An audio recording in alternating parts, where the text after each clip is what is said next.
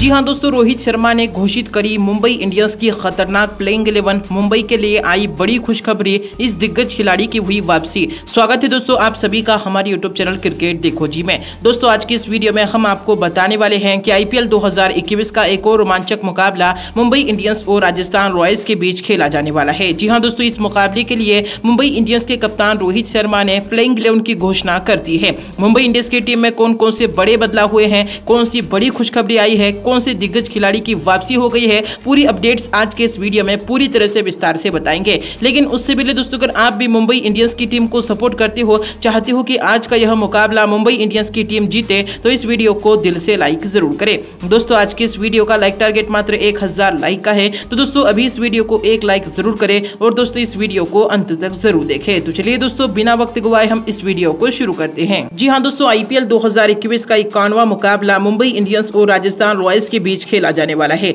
आज की इस मैच में दोनों ही टीमों के बीच कांटे की टक्कर देखने को मिल सकती है। यह मुकाबला दुबई के शारजाह क्रिकेट स्टेडियम में खेला जाने वाला है, जो कि पाँच सितंबर यानी कि आज भारतीय समय अनुसार शाम साढ़े सात बजे से शुरू होगा। ऐसे में दोस्तों, आपके हिसाब से आज का यह मुकाबला इन दोनों ही टीमों के लिए करो या मोरो वाला होने वाला है? ऐसे में मुंबई इंडियंस और राजस्थान में से कौन सी टीम इस मुकाबले को जीत पाएगी? उसका जवाब आप हमें कॉमेंट करके ज़रूर दें। इसके अलावा दोस्तों, दोनों ही टीमों के बीच हेड टू हेड आंकड़ों पर नज़र डाली जाए तो दोनों ही टीमों का आमना सामना आईपीएल के इतिहास में 24 बार हुआ है। जिसमें से 12 बार मुंबई इंडियंस की टीम ने जीत हासिल की है तो वहीं पर 11 बार राजस्थान रॉयल्स की टीम ने जीत दर्ज की है। जी हाँ इसके अलावा एक मुकाबला बेनतीजा रहा है। वहीं दोस्तों, मौजूदा टूर्नामेंट में राजस्थान और मुंबई का आमना सामना एक बार पहले भी हो चुका है। उस मुकाबले में मुंबई इंडियंस की टीम ने सात विकेट से जीत हासिल की थी। इससे पहले आईपीएल 2020 में यूई के मैदान पर भी इन दोनों ही टीमों का आमना सामना दो बार हुआ था। तब दोनों ही टीमों ने एक एक मुकाबला जीता था। ऐसे में हेड टू हेड आंकड़ों के मुताबिक इन दोनों ही टीमों के बीच कांटे की टक्कर देखने को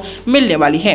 इसके अलावा दोस्तों पॉइंट टेबल पर नज़र डाली जाए तो मुंबई इंडियंस की टीम ने अब तक इस टूर्नामेंट में 12 मुकाबले खेले हैं, जिसमें से मुंबई की टीम ने पाँच मुकाबले जीते हैं तो वहीं पर सात मुकाबलों में मुंबई की टीम को हार का सामना करना पड़ा है। दस अंकों के साथ पॉइंट टेबल में मुंबई की टीम नंबर सात के स्थान पर मौजूद है, वहीं राजस्थान की टीम भी पॉइंट टेबल में दस अंकों, दस अंक लेकर बैठी है। आज का यह मुकाबला मुंबई इंडियंस और राजस्थान में से कौन सी टीम जीत पाएगी, उसका जवाब हमें कमेंट बॉक्स में ज़रूर दें। वहीं दोस्तों, आप सभी को बता दें कि आज का यह मुकाबला मुंबई इंडियंस के लिए काफ़ी ज़्यादा ज़रूर रहने वाला है। अगर मुंबई इंडियंस की टीम इस मुकाबले को जीत पाती है तो वह खुद को क्वालिफाई करवाने के लिए बरकरार रख पाएगी। इसके अलावा दोस्तों, आज के इस मैच में मुंबई इंडियंस की प्लेइंग इलेवन में बड़े बदलाव देखने को मिल सकते हैं। पिछले मुकाबले में दिल्ली कैपिटल्स की टीम ने मुंबई इंडियंस को चार विकेट से हराया था। अब तक आईपीएल के दूसरे चरण में मुंबई इंडियंस का प्रदर्शन कुछ खास नहीं रहा था। आज के करो या मरो वाले मुकाबले में मुंबई इंडियंस की टीम एक मज़बूत प्लेइंग इलेवन के साथ मैदान पर उतरना चाहेगी। आज के इस मैच में मुंबई इंडियंस की टीम में तूफानी स्पिनर की एंट्री हो सकती है।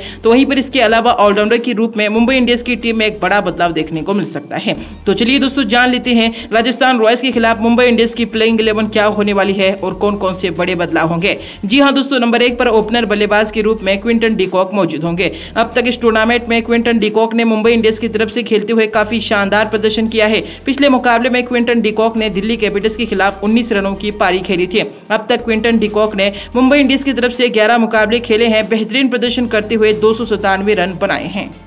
इसके अलावा नंबर दो पर कप्तान रोहित शर्मा खेलते हुए नज़र आएँगे। अब तक आईपीएल में इस रोहित शर्मा का प्रदर्शन बेहतरीन रहा है। हालाँकि पिछले मुकाबले में रोहित शर्मा दिल्ली कैपिटल्स के खिलाफ मात्र सात रन बनाकर आउट हो गए थे। लेकिन दोस्तों, अब तक इस टूर्नामेंट में मुंबई इंडियंस की तरफ़ से रोहित शर्मा ने सबसे अधिक रन बनाए हैं। इस टूर्नामेंट में रोहित शर्मा ने मुंबई की तरफ़ से खेलते हुए ग्यारह मैचों में तीन सौ इकतालीस रन बनाए हैं। इसके बाद नंबर तीन पर विस्फोटक बल्लेबाज सूर्य कुमार यादव मौजूद होंगे। आईपीएल के दूसरे चरण में लगातार खराब प्रदर्शन कर रहे सूर्य कुमार यादव पिछले मुकाबले में दिल्ली कैपिटल्स के खिलाफ अच्छा प्रदर्शन करके फॉर्म में लौट आए हैं। दिल्ली कैपिटल्स खिलाफ सूर्य कुमार यादव ने बेहतरीन प्रदर्शन करते हुए तैंतीस रनों की पारी खेली थी। अब तक दोस्तों, इस टूर्नामेंट में सूर्य कुमार यादव ने मुंबई इंडियंस की तरफ़ से 222 रन बनाए हैं। वहीं इसके अलावा नंबर चार पर विस्फोटक बल्लेबाज आप सभी को ईशान किशन खेलते हुए नज़र आएँगे। जी हाँ दोस्तों, इस दिग्गज खिलाड़ी की वापसी हो सकती है। जी हाँ सौरव तिवारी की जगह इनको प्लेइंग इलेवन में मौका मिल सकता है। सौरव तिवारी एक सूझबूझ भरे बल्लेबाज हैं जो कि धीमी गति की बल्लेबाजी करते हैं, लेकिन ईशान किशन से हमें ताबड़तोड़ बल्लेबाजी गेंदबाजी देखने को मिल सकती है, जिसकी आज मुंबई इंडियंस की टीम को सख्त ज़रूरत है। ऐसे में दोस्तों, आपको क्या लगता है, सौरव तिवारी और ईशान किशन में से किस खिलाड़ी को प्लेइंग इलेवन में मौका मिलना चाहिए? उसका जवाब आप हमें कॉमेंट करके ज़रूर दे। इसके अलावा नंबर पाँच पर ऑलराउंडर केरन पोलार्ड मौजूद होंगे। पिछले मुकाबले में दिल्ली कैपिटल्स खिलाफ केरन पोलार्ड, गेंदबाजी और बल्लेबाजी दोनों से ही फ्लॉप नज़र आए थे।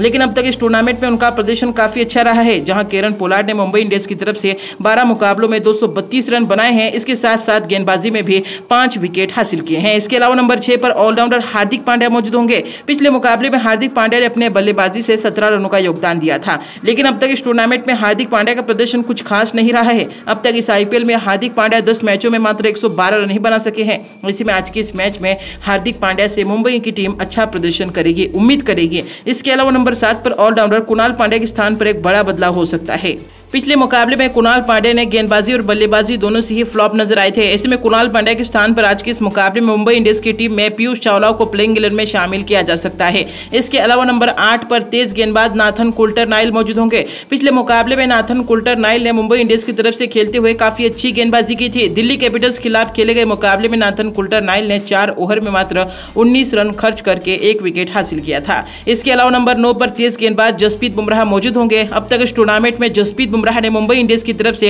सबसे अधिक विकेट हासिल किए हैं। अब तक आईपीएल में जसप्रीत बुमराह ने 12 मुकाबलों में मुंबई की तरफ़ से 17 विकेट हासिल कर चुके हैं। इसके अलावा नंबर 10 पर तेज गेंदबाज ट्रेंट बोल्ट मौजूद होंगे। मौजूदा टूर्नामेंट में ट्रेंट बोल्ट का प्रदर्शन मुंबई इंडियंस की तरफ़ से काफ़ी अच्छा रहा है। अब तक ट्रेंट बोल्ट ने बारह मैचों में मुंबई की तरफ़ से बारह विकेट हासिल किए हैं। वहीं दोस्तों, किफायती गेंदबाजी भी की है। इसके अलावा नंबर ग्यारह पर जयंत यादव के स्थान पर आज की इस मैच में एक बार फिर से राहुल चेहर को मुंबई इंडियंस के प्लेइंग इलेवन में शामिल किया जा सकता है। पिछले मुकाबले में जयंत यादव का प्रदर्शन कुछ खास नहीं रहा था। ऐसे में आज के इस मैच में मुंबई की टीम में निर्णायक मुकाबले में राहुल चेहर को एक बार फिर से टीम में शामिल किया जा सकता है और इनसे मुंबई की टीम अच्छे प्रदर्शन की उम्मीद भी लगाई बैठी है। दोस्तों, कुछ इस तरह से यहाँ पर मुंबई इंडियंस की प्लेइंग इलेवन हो सकती है। दोस्तों, ऐसे में आपको क्या लगता है? कौन सी टीम इस मुकाबले को जीत पाएगी? उसका जवाब आप हमें कॉमेंट करके ज़रूर दे। इसके अलावा दोस्तों, इस वीडियो को एक लाइक ज़रूर करें, चैनल को सब्सक्राइब ज़रूर करें। साथ ही में आपकी आपका जो भी महत्वपूर्ण राय है कमेंट करके ज़रूर बताएँ। तो चलिए दोस्तों, आज की इस वीडियो में बस इतना ही।